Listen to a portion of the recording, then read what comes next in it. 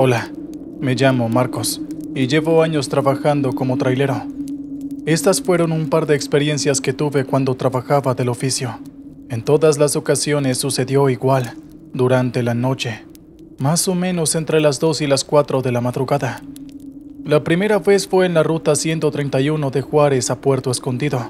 Simplemente fueron luces cegadas en un pequeño intervalo de tiempo. Parecía alguien sacando fotos, fogonazos de luces blancas. Tres fogonazos con un intervalo de un segundo en cada una.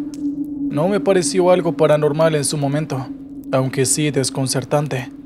Traté de entender de dónde venía eso, pero no se me ocurrió nada. La ruta estaba vacía. No había un alma. Como no pasó a mayores, lo dejé de lado. Tomé aquello como un evento que no supe entender y listo. Llegué a mi destino a Puerto Escondido y entregué el pedido. Algunos de los traileros de la zona hablaban sobre las luces. Parecían intrigados. Siendo honesto, de mi parte no le di relevancia, pero la curiosidad me llevó a hablar con ellos. Algunos pasaron por la 131, pero otros vinieron de otra carretera. Todos observaban las luces al igual que yo, pero cada uno tenía sus teorías. Uno dijo que eran espíritus manifestándose y que esos fogonazos eran las almas que escapaban del infierno. Otro dijo que se trataba de un trailero que murió a causa de un accidente, por culpa de un choque que lo cegó con las luces largas y que cada cierto tiempo se hacía presente cegando a los conductores. Alguien más habló sobre ovnis y ya ahí dejé de tomármelo en serio. Entre todos los relatos coincidieron en lo mismo, luces blancas parpadeando tres veces, pero uno de ellos dio un detalle en el que nadie más se había fijado, y lo reveló como una pregunta. Oigan, ¿alguien se dio cuenta de dónde venía la luz? En mi experiencia, la luz se sintió desde todas partes, no como un foco desde el frente ni desde un costado. Recordándolo bien, incluso sería lógico entender que la luz vino desde adentro, porque eso vimos todos, completa luz blanca. Teorizamos de la manera más racional como podía ser posible, pero no logramos comprenderlo. De todas formas no me asustó en lo más mínimo, solo me resultó curioso e intrigante. Esa anécdota quedó por ahí, como un evento cualquiera y una historia para contar. Unos años después, por la misma carretera, a la misma hora y el mismo día, volvió a suceder lo mismo, solo que esta vez fueron cinco fogonazos en vez de tres. Estaba intrigado por entender qué podría producir esas luces, pero no obtuve respuesta. Cuando finalicé este recorrido, andaba con los tiempos tan juntos que ni me detuve a consultar con otros traileros. Más o menos un año después, me encontraba en la ruta 179 camino a Veracruz, cuando sucedió lo mismo, los mismos fogonazos de luz. Esta vez fueron de un color distinto, pero sucedió igual, solo que en este caso fueron siete fogonazos. Bajé la velocidad de mi tráiler por si se repetía en una situación más compleja. Tuve suerte de que en ese momento la carretera estaba despejada, pero en caso de hacerlo en una curva sería peligroso. Y qué bueno que bajé la velocidad, porque luego la luz cegadora regresó. No fue un parpadeo. Esta vez, la luz quedó ahí presente. Cerré los ojos al instante, y a pesar de tenerlos cerrados, la luz seguía. Se sentía a través de mis párpados. Era tan incandescente que me hacía imposible abrir los ojos. Tengo que dar gracias a Dios de que tuve la frialdad de actuar de manera racional. Coloqué las luces de emergencia y terminé de frenar el tráiler sin entrar en pánico. En cuanto detuve el vehículo, la luz desapareció. Observé la oscuridad de la ruta mientras el corazón me salía del pecho. No sabía si continuar o averiguar qué demonios estaba pasando. Bajé del tráiler y caminé algunos metros. No veía a nadie que pudiese provocar aquello. Observé el cielo. Era la noche más despejada que podía imaginar. Me tomé unos segundos para tranquilizarme. Con más coraje subí al tráiler y continué con mi viaje. Lo mejor que podía hacer era llegar a destino de una vez por todas. Recuerdo observar la hora para controlar el tiempo que había perdido.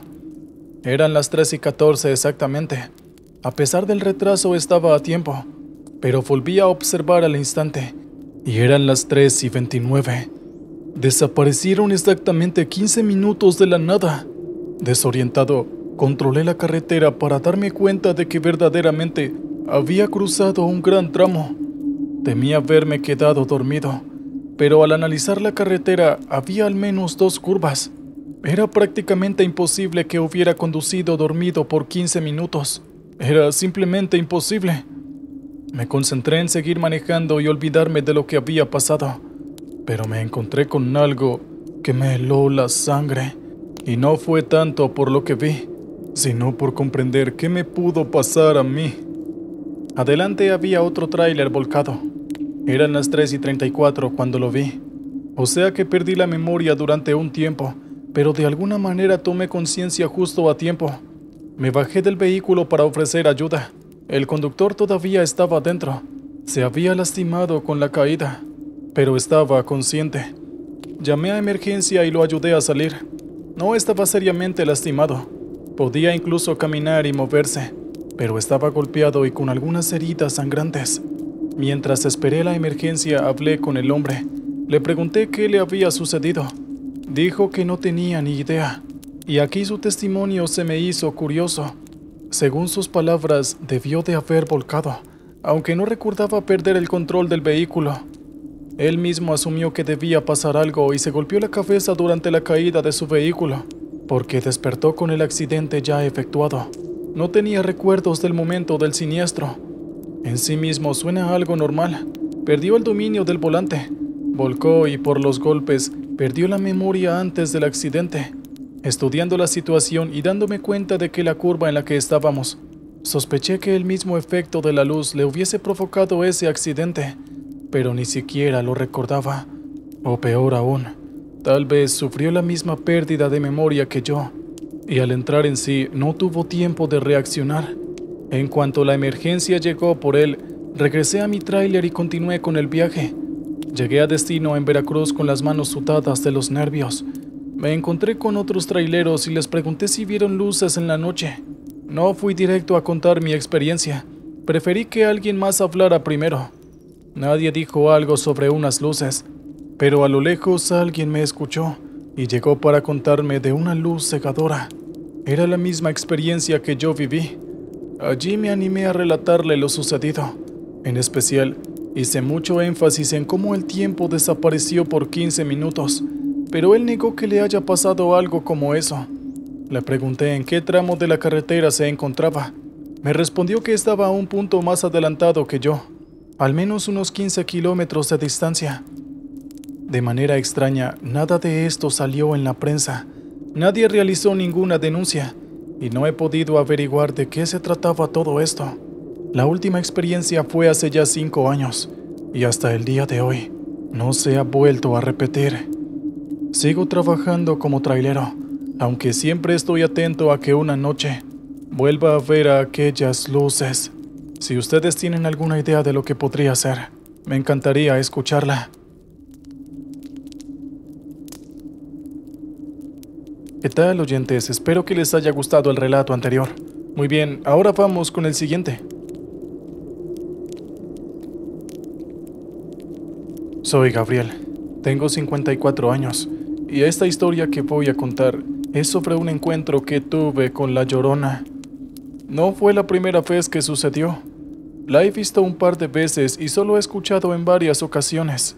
Aquí el asunto no es tanto el encuentro con la Llorona de por sí, sino en la peculiar circunstancia que sucedió. Llevaba más de 20 años en el oficio y he transitado muchas rutas en México. Es cierto que muchas de las historias que se escuchan por ahí son falsas y solamente tienen el objetivo de entretener. Para dar una aproximación, aquellas historias que parecen ser muy fantasiosas, es probable que sean falsas, pero aquellas que son contadas sin tanta fantasía, y más como una anécdota que le cuentas a tus amigos, probablemente tengan un alto componente de verdad. Por ejemplo, en mi caso he visto luces en el cielo realizando movimientos erráticos, fantasmas hacerme dedo en la carretera y he escuchado voces y otras cosas más. La Llorona es la entidad que más he visto. Lo cuento con normalidad porque al inicio uno se lleva sus sustos, pero con el correr del tiempo uno se va acostumbrando a estas cosas. No estoy diciendo que no dé miedo, por supuesto que sí, pero ya por lo menos aprendes a controlarlo un poco y a entender que es otro suceso paranormal. Después de todo, si toca manejar en las carreteras durante la noche, o te acostumbras a estas cosas o te bajas del tráiler. Volviendo a la llorona, la vi en la carretera deambulando tres veces. Se me acercó al tráiler en todas las ocasiones, pero es ignorarla y listo. En otros casos me ha pasado de escuchar sus lamentos rogando por sus hijos, pero sin visualizarla directamente. A mí la llorona no es que me causara mucho temor, solo era entender que era un espectro que se hacía ver. Pero el día que me falló el motor, ahí sí que la tuve cruda. Estaba en plena carretera 49 rumbo a Zacatecas y de repente el motor comenzó a fallar. Primero hizo un sonido extraño. Recé para llegar a destino y poder revisarlo, pero luego escuché el llanto de la llorona. Sus lamentos no me daban miedo como ya he dicho, pero con un motor actuando extraño, comencé a preocuparme, hasta que sucedió. El motor comenzó a dar fuertes sacudidas y simplemente murió. Quedé varado en la carretera a la una de la madrugada. Solo habían pasado dos minutos de oír a la llorona. Yo me quedé inmóvil sujetando el volante mientras esperaba su aparición. Tras una pausa considerable y sin su presencia, decidí tomar el móvil y llamar al auxilio mecánico. Mientras realizaba la llamada, algo golpeó la puerta del acompañante desde afuera. Me sacó el grito del susto. Intenté pensar que podría ser un animal o cualquier otra cosa para no aterrarme con la llorona. Terminé la llamada y me quedé dentro de la cabina a oscuras. Dejé las luces de la cabina encendidas para evitar cualquier sorpresa. Cada maldito segundo se me hacía eterno. La espera era torturante. Y luego la escuché. Comencé a oír los lamentos de la llorona desde lejos. En un inicio se me hizo difícil reconocer desde dónde venía.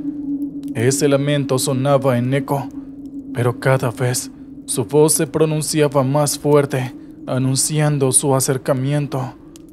Ahí me di cuenta de que se escuchaba detrás del tráiler. Venía hacia mí. Escuché su lamento por el lado izquierdo, dándome cuenta de que venía hacia ese lado, pero a medio recorrido su voz se apagó. Fue como si el tiempo se detuviese para mí. Estaba atento a qué podría pasar, con los sentidos agudizados y la adrenalina a pleno. Perdí la mirada en el horizonte tratando de escuchar todo a mi alrededor.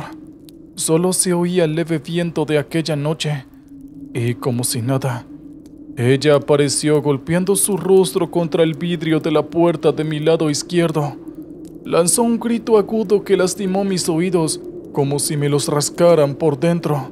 Me arrojé hacia el asiento del acompañante temiendo lo peor. Pude apreciar su rostro pálido sus ojos grises y sus labios azulados. Estaba con la boca y la mandíbula desfigurada. Era como si la tuviera rota. Había dejado de gritar, pero estaba ahí mirándome a los ojos, y luego comenzó de nuevo con su lamento. Lloraba agonizante mientras preguntaba por sus hijos. Incluso me lo preguntaba a mí como si yo fuese el responsable o supiera dónde estaba. Daba golpes débiles a la ventanilla. No sabía si trataba de romperla o de llamar la atención. Yo me encontraba aterrado, atrapado en la imagen que estaba viendo. Quería que se fuera, pero no podía sacarle un ojo de encima. No sabía cómo enfrentar esa cosa. Pensé en salir corriendo, pero en el momento en que presenté mi mano en el picaporte, me pregunté qué haría una vez que bajara del tráiler. Salir corriendo en la madrugada en plena carretera no era una buena opción. Entendí que estaba resguardado dentro de la cabina, así que tomé coraje y me lancé hacia el volante para tocar la bocina. Lo dejé sonando más de 10 segundos, esperando que la llorona huyera. Pero esto solo aumentó su lamento. Golpeó aún más fuerte el vidrio. Era seguro que quería atacarme.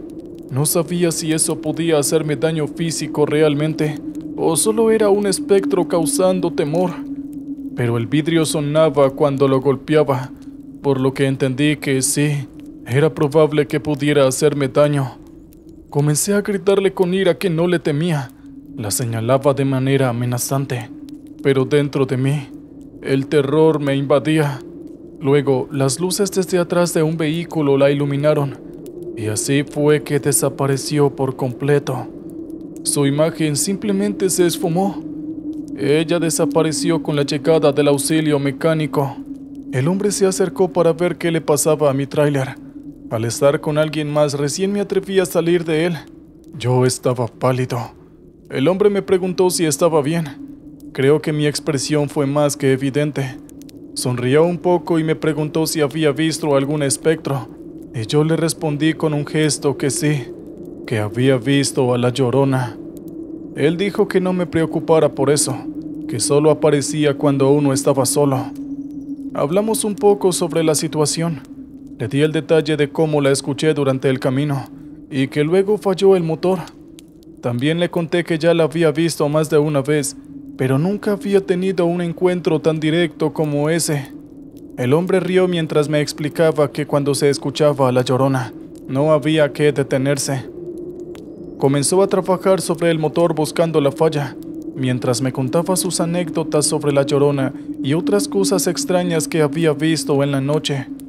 También me compartió experiencias de otras personas que pasaron por mi situación de quedar separado y sufrir un encuentro cercano. Le pregunté si en algún caso alguien sufrió daños. El hombre detuvo sus herramientas y me observó con seriedad. Y luego dijo algo que no esperé. Dijo que le había hecho daño. Aquella expresión de funeral me generó una sensación tan extraña que no tengo palabras para describirla. Le pregunté qué tipo de daño había sufrido y él se colocó la mano en el corazón. Luego explicó que cuando ella lo atacó, le había dado un infarto y así había perdido la vida. Yo me llevé un susto más grande que antes. Sujetaba la linterna en temblores sin saber cómo reaccionar. Y el hombre de pronto cambió su semblante y empezó a reírse.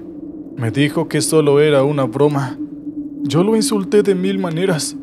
El maldito condenado me hizo creer que estaba hablando con un muerto. ¿Pueden creerlo? Él se disculpó de nuevo y dijo que no podía desaprovechar la oportunidad. Pero me advirtió que igual lo que había dicho era verdad, pero no con él. El chico que estaba antes en su lugar había muerto de un infarto por interactuar con la llorona. Me explicó que su colega anterior se detuvo a auxiliar a una joven estaba en comunicación por radio con la empresa y fue informado. Detuvo su vehículo a pesar de la advertencia de no hacerlo. No se pudo resistir de ver a alguien en la ruta y aquella persona que vio fue la llorona. Bajó del vehículo y luego se escucharon los gritos por la radio. Y así sucedió. Él decía que le dolía el pecho, que su brazo se le había dormido y ya luego no respondió más. Para cuando la ambulancia llegó ya era tarde. Falleció en la carretera por su encuentro con la llorona. Algunos dijeron que la llorona se lo había llevado, pero en la autopista confirmó que tenía cierta deficiencia cardíaca y el susto lo agarró mal parado. Él me explicó que en ese tipo de casos uno debía estar muy calmado porque de lo contrario el miedo lo puede coger a uno mal parado y darle algún infarto. Me dolió un poco en el orgullo que justo me lo dijera a mí, pero tenía razón. En tantos años en la carretera había tenido muchas experiencias, pero nunca una tan directa. El hombre logró hacer andar el motor. Me explicó la falla, aunque ahora no viene al caso. Pero el arreglo solo fue algo provisionario lo suficiente para terminar el viaje y enviar al tráiler al taller. Al momento de subirme y cerrar la puerta, el vidrio de la ventanilla sonó extraño. Había vibrado como si estuviese en falso. Él también lo escuchó y se acercó. Bajé la ventanilla y estaba algo trabada. Él me preguntó qué le había pasado a la puerta y yo le respondí que lo había hecho la llorona. Él se quedó asombrado. Actuaba tan desconcertado que no me creía. Yo le pregunté si aquello le parecía algo nuevo. y me explicó que de las pocas personas que han visto a la llorona, nadie ha experimentado algún tipo de daño, ya sea a su coche o tráiler o a su persona, solo el man del infarto, pero era porque él ya tenía problemas en el corazón. Luego dijo que era mejor que nos fuéramos, no fuera que fuera a aparecer de nuevo. No me dejó nada tranquilo su expresión, pero no era para menos. La llorona fue capaz de dañar el vidrio del acompañante, o sea que verdaderamente podía hacer daño. Escuché al hombre decirse a sí mismo, 30 años y nunca había visto algo así. Luego partió. Yo salí tras él y por un buen tramo viajamos así, teniéndonos a la vista. Después de todo, sí o sí teníamos que tomar ese tramo, y manejar con él adelante me dejó tranquilo de que en otra falla él estaría allí para auxiliarme y no dejarme solo. Terminé la entrega y dejé el tráiler en el taller. Conté a mis colegas lo sucedido y casi nadie me creía. Entre nosotros había muchas historias de la llorona, pero a nadie le había roto algo o le había hecho algún tipo de daño. Uno de ellos me preguntó si le hablé directamente. Yo le respondí que le dije que no le tenía miedo. Y ahí estuvo mi horror. A la llorona, según él, no hay que hablarle, ni ayudarle, ni hacerle nada. Lo mejor es ignorarla. Hablar con ella, aunque fuese de manera amenazante, fue darle fuerzas, o al menos eso me dijo él. No sé qué tan cierto sea o si solo fue una suposición, pero fue suficiente para tener claro que en mi próximo encuentro haría de cuenta que ella no existe. Agradezco que jamás supe de la llorona mientras seguí transitando esa carretera. ¿Qué tal oyentes? Espero que les haya gustado el relato anterior. Muy bien, ahora vamos con el siguiente. Buenas noches. Mi nombre es Mariano. Soy un soldado raso de las milicias mexicanas y me dedico más que nada a los puestos de inspección en las rutas donde detenemos a los vehículos y les pedimos los papeles correspondientes. En algunos casos también detenemos a aquellos que tienen órdenes de captura. Como en esta carretera pasan muchos vehículos por día, nuestro trabajo es bastante intenso. Desde el momento en el que empezamos a trabajar hasta el final del día, no paramos de hablar con las personas. Muchos son amables, pero otros nos miran con desprecio y, cuando pueden, nos dedican palabras algo ofensivas. A la mayoría de ellos los dejamos pasar, pero de vez en cuando alguno se cree demasiado listo, y entonces los detenemos algunas horas para darles una lección. De todas formas, la gente por lo general es muy amable. Sé que muchos nos temen, pero créanme que si una persona no tiene nada que ocultar, entonces no tiene que temer de un militar. Un día yo estaba montando guardia en el puesto de inspección. Eran las 8 de la noche, y ya mi horario estaba por finalizar. Detuve un coche bastante antiguo. Dentro de él venían dos ancianos, una pareja. Vi que ambos estaban muy asustados y pensé que era porque quizás creían que nosotros íbamos a pedirles algo extraño. Pero luego supe por boca del anciano, que era el que conducía, que ellos habían visto algo muy escalofriante algunos kilómetros atrás. Su mujer intentó hacerlo callar. Sin embargo, el anciano me siguió confesando que ellos venían por aquella carretera, cuando vieron que de una de las casitas cercanas a la ruta, un hombre muy fornido salía de una puerta, agarraba del cuello a una mujer que estaba en el patio tendiendo la ropa y la metía a la casa muy bruscamente. El anciano dijo que aquel hombre tenía un machete en su mano. Intentaron llamar a la policía, pero ambos tenían un manejo bastante tosco del celular y no sabían a qué número marcar. Pensaban pedir ayuda en algún pueblo cercano, pero por fortuna se habían cruzado con nosotros. Les dije a los ancianos que no se preocuparan, que nosotros iríamos a investigar. Solo les pedí que nos condujeran hasta el lugar donde habían visto los hechos. La anciana estaba muy aterrada y en un principio intentó convencer a su marido de que abandonara la denuncia. Sin embargo, ya era tarde. No podíamos olvidar el asunto y se lo dije. Señora, puede haber una mujer en peligro, ¿por qué se niega a ayudarla? Le pregunté, a lo que la anciana solo negó con la cabeza y dijo que no estaba segura de lo que había visto. de que todo aquello podía ser una especie de alucinación. Yo le argumenté que los dos habían visto lo mismo, así que no creía que se tratara de ninguna alucinación. En todo caso le dije que nuestro deber era investigar, y le pedí que por favor nos guiara hacia aquella casita que había visto. El anciano accedió, aunque también parecía dudar. Yo informé del asunto a mi jefe, quien me dio la autorización para ir a investigar junto con dos soldados más. El coche del anciano giró en U. Nosotros lo seguimos en un jeep de reconocimiento que nos servía para trasladar los carteles de señalización y todas esas cosas. No obstante, los tres íbamos bien armados. Recorrimos unos 5 o 6 kilómetros hasta llegar a un camino de tierra. El anciano estacionó sobre el arcén y nos señaló una casa que estaba ubicada a 50 metros de la carretera. Era una casita simple de un solo piso. A su alrededor había un jardín muy cuidado y árboles centenarios. Detrás se abalanzaba un bosque y de allí parecía surgir una columna de humo. Apenas la vi, un sentimiento de que algo andaba mal se apoderó de mí. Mis compañeros creo que también sintieron lo mismo. Nos bajamos del jeep y nos encaminamos hacia la casita, dándole la orden a los ancianos de esperar en su coche. Al llegar al porche de la casa, notamos que había mucho polvo acumulado. La casa estaba bastante sucia y la pintura se había comenzado a descascarar. Llamamos a la puerta, pero nadie atendió. Yo hice un rodeo para ver si había otro modo de acceso. Finalmente encontré una puerta lateral que estaba cerrada pero cuando accioné el picaporte, se abrió de inmediato. Llamé a mis compañeros, pero no me respondieron. Razoné que quizás ellos habían entrado por la puerta principal. Entonces me introduje en la casa. Era realmente una ruina. Los cuadros y las alfombras estaban cubiertas de moho.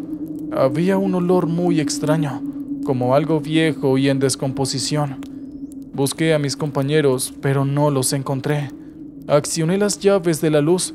Al parecer no había electricidad.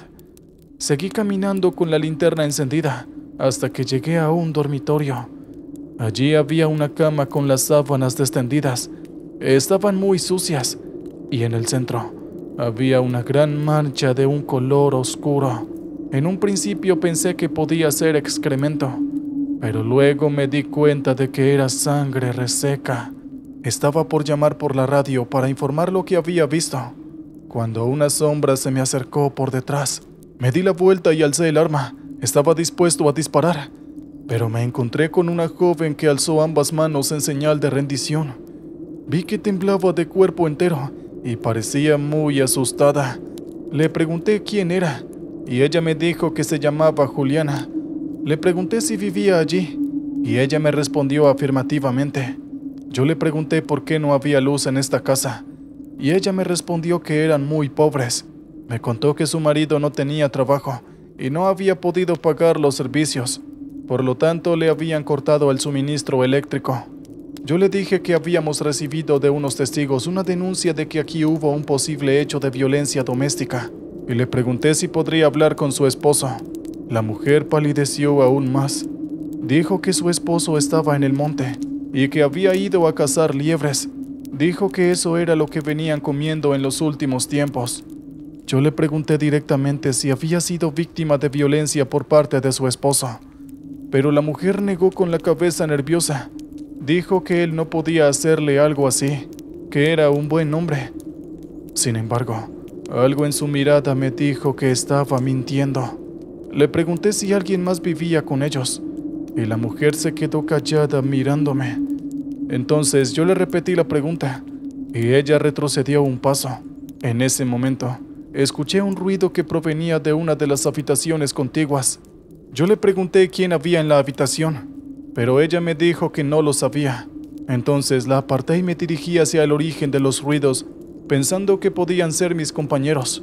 Entré a la siguiente habitación que también era un dormitorio, solo que evidentemente era de un niño.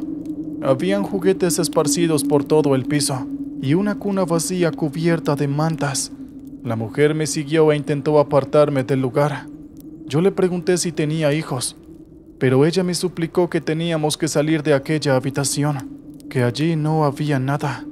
Revisé la habitación unos momentos más y luego salí. Quería buscar a mis compañeros pues no sabía dónde se habían metido. Sin embargo, cuando estaba por alejarme, se escuchó otra vez ese ruido desde la habitación. Entonces yo me volví. La mujer intentó detenerme sujetándome del brazo y me pidió el favor de que no entrara. Yo le dije que por favor no me tocara. Me quité su brazo de encima y regresé a la habitación. Volví a revisarla y esta vez noté que detrás de la cuna había una pequeña puerta de unos 50 centímetros de lado empotrada sobre la pared. El ruido parecía provenir desde allí. Yo le pregunté qué demonios era eso. Ella me dijo que no era nada. Lo decía una y otra vez y nuevamente suplicó para que nos fuéramos de allí. Pero yo le dije que si acaso no escuchaba aquellos ruidos, así que le dije que iba a investigar. Ella nuevamente me suplicó que no entrara, que allí no había nada que ver. Por enésima vez volví a quitar a la mujer de encima y abrí la pequeña puerta. Del otro lado había una especie de túnel oscuro. Para pasar por ahí tenía que arrastrarme, y aún así no estaba seguro de que no quedaría atascado en el lugar. Yo le pregunté a dónde conducía esto, y ella me dijo que la casa era muy antigua y que tenía muchos rincones que ella no conocía. Pero otra vez escuchó ese ruido. Era como si alguien estuviera rascando algo, quizás una madera. Sin duda, parecía provenir desde aquella oscuridad que se abría detrás de la pequeña puerta. Yo le dije decidido que iba a investigar que si veía a mis compañeros les dijera que estaba aquí dentro. Pero ella de nuevo me dijo que no entrara ahí. Yo ya estaba cansado de esto, así que le pregunté por qué tanta insistidera, si acaso no tenía algo que decirme. La mujer retrocedió y bajó los ojos. Me dijo de forma nerviosa que no había nada. Solo me dijo que no quería que me metiera allí, pues podía haber muchas ratas y arañas. Yo le dije que no se preocupara, que yo estaba entrenado y esas cosas no me asustaban. La mujer siguió intentando convencerme de no entrar. Sin embargo, yo no le hice caso y me deslicé dentro del túnel. Debo admitir que muy pronto me arrepentí de haberlo hecho, ya que el túnel era más estrecho de lo que parecía. Apenas podía mover las manos y los brazos. Solo me impulsaba con los pies. Cualquier movimiento en falso, lo supe, haría que me atascase allí mismo. A medida que avanzaba, un olor realmente desagradable invadía mis fosas nasales. Llegó un punto en que ya no podía más. Necesitaba respirar aire puro porque me sentía mareado y con náuseas. Por fortuna, luego de unos cinco o seis minutos de arrastrarme por aquel lugar nauseabundo, finalmente encontré la salida. Era una habitación oscura. Cuando iluminé con la linterna, vi que había una cama pequeña y una televisión vieja apagada, y detrás de aquella cama había alguien agazapado. Dirigí la linterna hacia ese lugar y le pedí a esa persona que se identificara. Nadie me respondió. Solo podía verle su espalda que estaba agachada detrás de la cama. Me acerqué lentamente hacia esa persona y vi que estaba rasguñando el suelo de madera. Tenía las manos ensangrentadas de tanto intentarlo. Pese a que yo había gritado varias veces, aquella persona parecía no haberme visto. Me acerqué aún más y le puse una mano sobre el hombro. Entonces, esa persona pegó un respingo y giró la cabeza hacia mí. Era un hombre joven, de quizás no más de 20 años. Había algo en su mirada que me dijo que no era muy sano, que tenía algún tipo de problema mental. Se incorporó rápidamente y entonces me di cuenta de que era enorme. Quizás medía unos dos metros de alto. Emanaba un olor salvaje, como si no se hubiese bañado durante años. Luego lanzó un extraño rugido, extendió su mano e intentó atacarme. Yo entonces retrocedí y le ordené que se detuviera. Sin embargo, este hombre no pareció escucharme y siguió avanzando. Entonces, no quedándome de otra, saqué la pistola y le apunté. Ni siquiera pareció percibir el peligro. Este enorme ser humano siguió avanzando y me sujetó del brazo. Su fuerza era descomunal y por poco me fractura los dedos de la mano con un solo apretón. Entonces, lancé un grito y disparé. El disparo le dio en su pierna y el hombre se echó hacia atrás sorprendido. Era como si acabara de descubrir el poder del fuego de una pistola. Lanzó un grito y al hacerlo, abrió su boca desmesuradamente. Vi que le faltaban casi todos sus dientes. Luego, enfurecido, se volvió para atacarme. Yo lo esquivé y luego comencé a buscar una salida. No quería hacerle daño a aquel hombre porque supe que tenía algún tipo de discapacidad. Mi linterna iluminó una puerta. Intenté abrirla, pero estaba cerrada. Entonces el hombre se abalanzó sobre mí y me sujetó con una fuerza de oso, haciendo que mi pistola se cayera.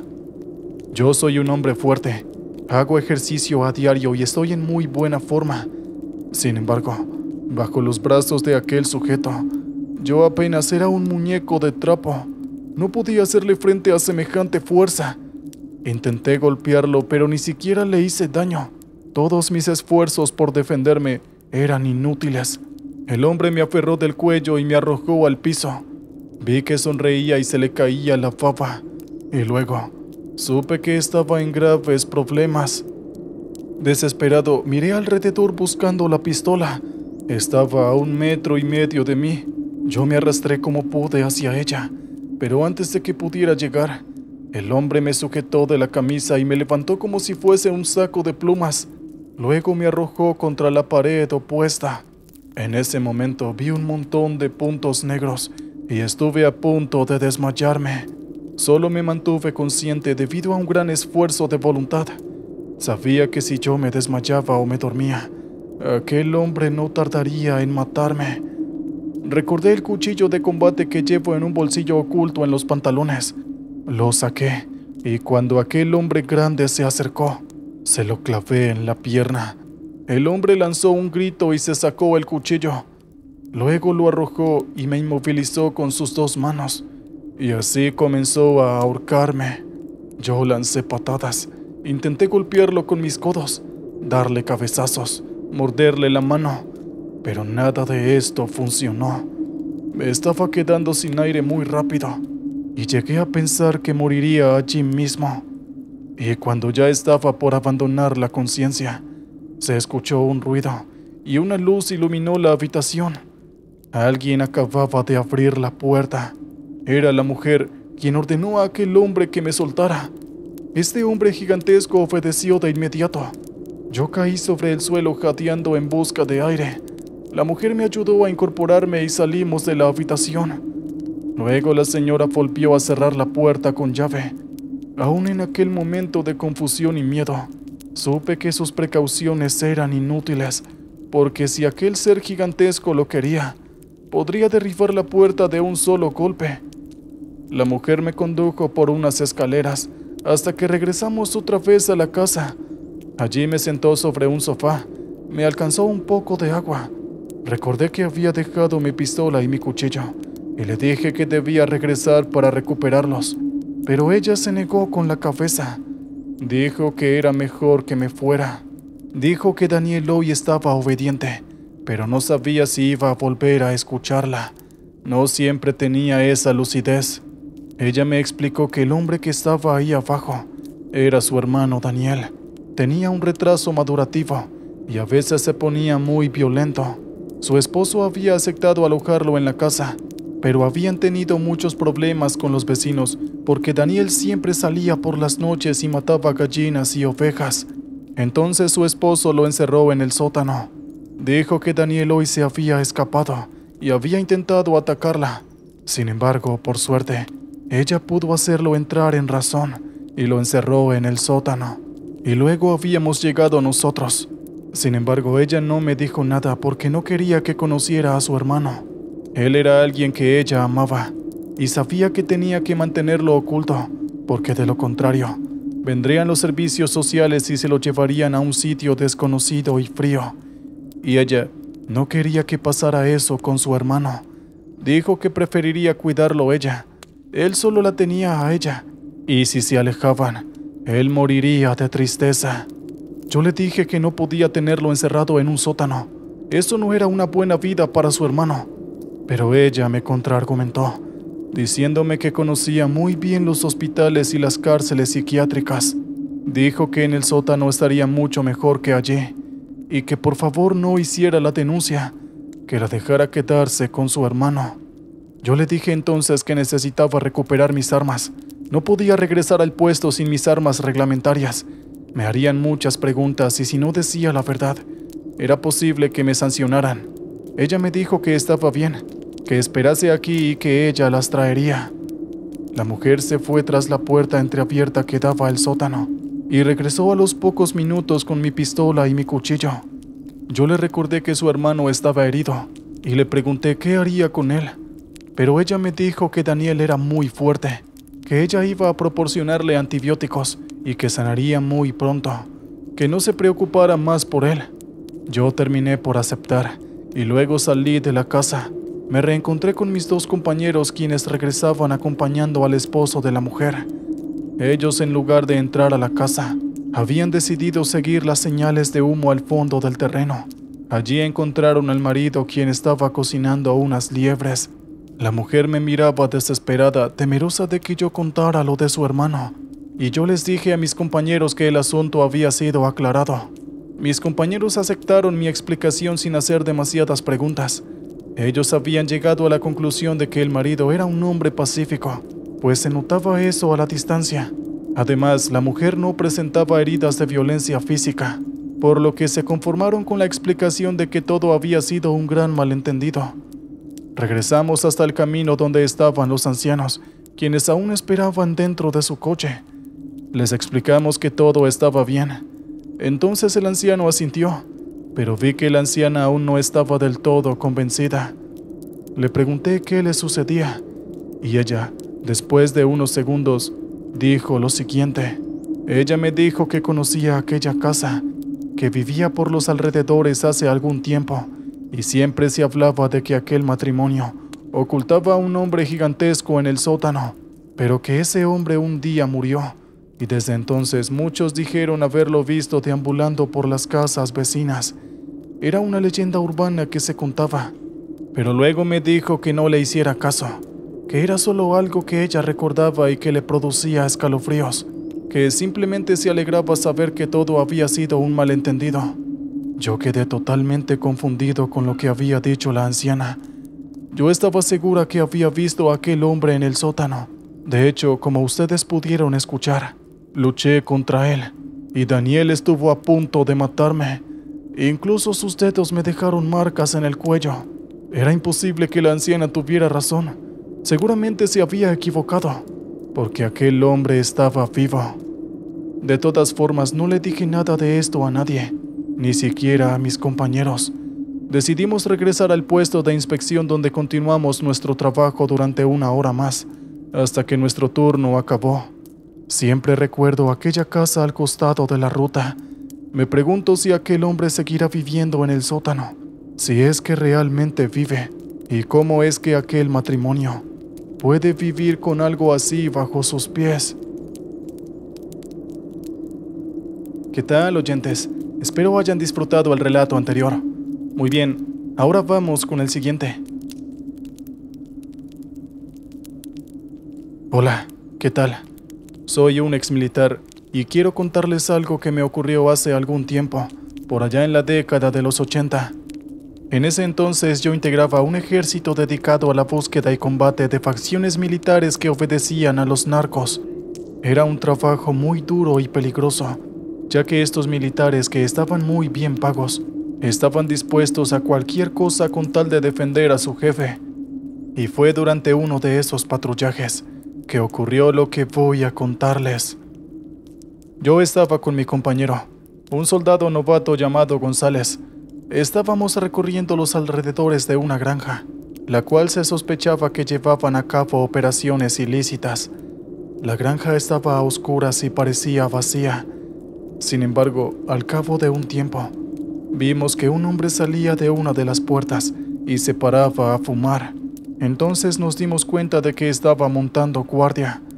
Nuestro trabajo no era hacer frente ni batallar en ese momento, sino simplemente informar de lo que veíamos ya que había una operación de espionaje y planificación detrás. La idea era que nuestro ejército invadiera la granja al día siguiente. Sabiendo ya todos los detalles y la cantidad de posibles enemigos. Con mi compañero dimos un informe por la radio. Al cabo de un tiempo, vimos a otro hombre más que se asomaba por una ventana. Identificamos posibles puntos débiles de aquella granja y fotografiamos la zona con una cámara infrarroja. Luego nos dispusimos a marcharnos, ya que estaba llegando el amanecer y corríamos el riesgo de ser vistos. Para retirarnos tuvimos que cruzar un campo oscuro. Las hierbas nos llegaban hasta la cintura y nos sentíamos bastante resguardados, ya que podíamos ocultarnos entre ellas si veíamos algo extraño. Mi compañero en un momento se agachó y vi que recogía algo. Yo no le presté atención. Pensé que era una roca o algo así, ya que mi compañero era próspero a distraerse y recibía a menudo reprimendas por ello. Seguimos avanzando, y entonces vi que una sombra se ocultaba detrás de unos árboles cercanos. Me detuve y me agaché, indicándole a mi compañero que hiciera lo mismo. Estuvimos un tiempo examinando el terreno, pero no volvimos a ver ningún movimiento. Así que seguimos avanzando, pero esta vez agachados. Sin embargo, al cabo de un tiempo, vi que esta sombra salía entre los árboles y se acercaba hacia nosotros, pero lo hacía también agazapada detrás de los pastizales.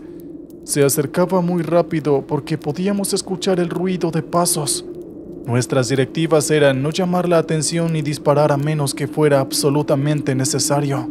Entonces, decidimos correr para escapar de aquella figura que nos estaba siguiendo. Mi compañero miró hacia atrás y luego dijo horrorizado que se trataba de una mujer vestida de blanco. Yo también miré y vi que algo venía tras nosotros. Era una mujer con el cabello muy largo. Vestía un camisón blanco y caminaba como si fuera una lagartija a cuatro patas, con el cuerpo muy pegado a la tierra. Mi compañero me gritó que esa cosa no era de este mundo santiguándose tres veces y lloriqueando por el miedo. Así que él corrió con todas sus fuerzas. Yo también corrí, aunque no estaba muy convencido de que aquella cosa fuera un fantasma. Sin embargo, cuando volví a mirar hacia atrás, vi que la mujer venía cada vez más cerca. Alzó su cabeza y sacó una lengua que era como la de una víbora, larga y bífida. Y entonces Supe que mi compañero tenía razón, que nos estaba siguiendo algo demoníaco. Corrimos a través de los árboles mientras mi compañero no paraba de quejarse ni de lloriquear, diciendo que esa cosa nos atraparía y nos infligiría una muerte espantosa. Corrimos por espacio de unos 15 minutos, pero aquella cosa no nos perdía pisada. Tuve el deseo de dispararle. Sabía que no le haría ningún tipo de daño, además de que alertaría de nuestra posición a nuestros enemigos. Finalmente, recordé aquella acción que había hecho mi compañero en el campo de agacharse a recoger algo. Le pregunté qué era lo que había encontrado, y él sacó de su camisa una cruz pequeña de hierro. Dijo que la había visto en aquel campo, y que le había llamado la atención y que pensaba venderla a los anticuarios por algo de dinero. Yo le ordené que arrojara esa cruz, y mi compañero así lo hizo. De inmediato vimos que aquella mujer se abalanzaba sobre la cruz y la recogía con ambas manos. Luego se dio vuelta rápidamente, llevándosela hacia el campo que acabábamos de cruzar. Algún tiempo después, me enteré de que en aquel campo se había llevado a cabo una matanza brutal de campesinos a manos de los narcos. Murieron muchos hombres y mujeres, y también algunos niños. Los pueblerinos sobrevivientes cavaron tumbas y les dejaron aquellas cruces como recordatorio.